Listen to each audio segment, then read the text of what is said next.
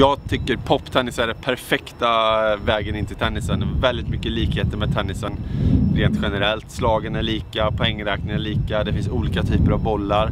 Du lär dig kontrollera slagen väldigt, eh, väldigt fint. Så att jag skulle vilja se att fler poptennisbanor byggs runt om i Värmland, i tennisklubbarna, i andra idrottsföreningar också för den delen. Ganska låg investering eh, och man lär sig spelet ganska snabbt.